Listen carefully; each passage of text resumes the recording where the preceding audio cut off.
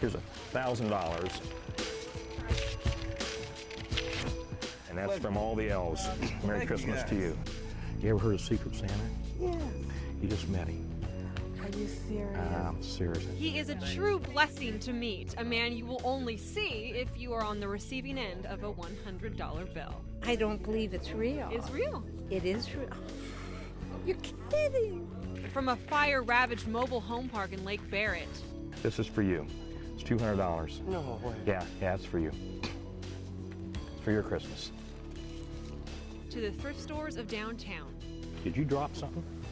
I think you did. Here, this must be yours. Oh, that's not mine. His team of elves can't help but make quite an entrance. Let's get Butkus. I went up to him because I wondered if it was dangerous to be in here right now. And once they do make that entrance, their mission is to make a difference. So you either use it for yourself, for your children, or somebody that you can help, or pass it on and do it to somebody else this year. You use it however you need to use it. There's just one condition. Yes, there has always been one condition since the original Secret Santa. The name on here, Larry Stewart, Secret Santa. His name stamped in remembrance on each $100 bill. Oh, okay. He died last year. He was our Oh, good friend. right? They want people to simply share the spirit. All you got to do is pass on the kindness to somebody else this Christmas. Pass it on to somebody else. My church thanks you, because that's who I'm going to give it to. God is good. He works in mysterious ways. Do the right thing. Good things happen.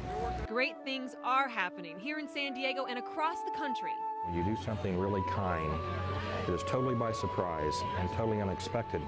The emotion kind of bubbles forward, and that's a beautiful thing because it's about love. I love you people. In each city he visits, Santa's goal is to duplicate himself, keep Larry Stewart's 25 year legacy alive. It's about passing it on. It isn't so much about the money, but it's about passing it on. To be in his presence is remarkable. It's why the number of elves grows each year. But it's that knack at finding those who are truly in need of a miracle. My fiance died and I ended up being homeless. So this hundred dollars means a lot to me. I'm living in a women's shelter right now. That can make anyone believe. You believe in Santa Claus? Yeah, I believe, yeah. You do? Well, this is from Santa.